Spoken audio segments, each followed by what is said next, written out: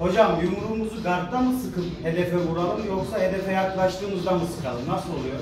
Arkadaşlar en çok yaptığınız hatalardan bir tanesi sürekli olarak sıkılı tuttuğunuz zaman vücudunuzu ve yumruğunuzu çok çabuk yorulursunuz.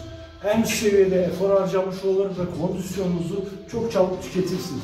O yüzden yumruğunuzu her zaman ve vücudunuzu maç esnasındayken relax haldeyken tutuyoruz ve vuruş esnasında tam anlık olarak maksimum hızla birlikte vurduğumuzda tüm vücut kas sistemimizi kasarak yumruğun şiddetini kat ve kat arttırıyoruz. Yani yumruğu vururken özellikle arkadaşlar bakın çene kıran yumruklar ifadem bile hafif kırık. Yumruk üstü sert dişlileri rakibin çenesine ulaştırdığımızda yumruğu çok sıkmanıza bile gerek yok arkadaşlar. işte bakın sert dişlileri vurduğunuz an müthiş şiddetli bir etki yaratıyor.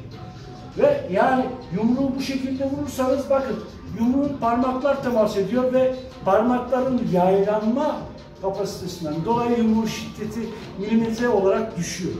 Dışarıda da işte saldırganlara karşı bu şekilde vurduğunuzda parmak kırılmaları, sakatlanmaları da söz konusu olabilir.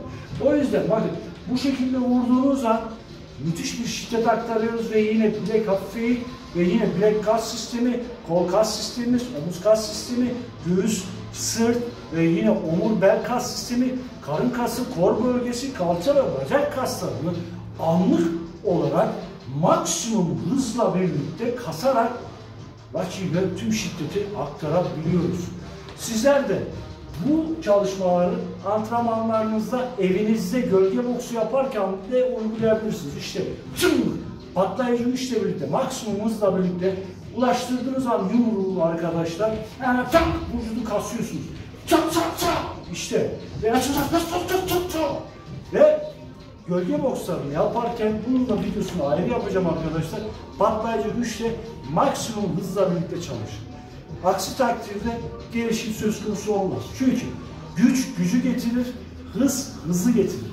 Tekniğinizin en üst seviyede güce ve hıza ulaşması için daha önceki yapacağınız bu çeşit patlayıcı güçle birlikte gölge boksu antrenmanlarıyla teknik vurma hızınızı, gücünüzü ve şiddetini en üst seviyelere çıkartmış olacaksınız. Hepinize başarılar diliyorum. Biz antrenmana devam ediyoruz. Görüşmek üzere.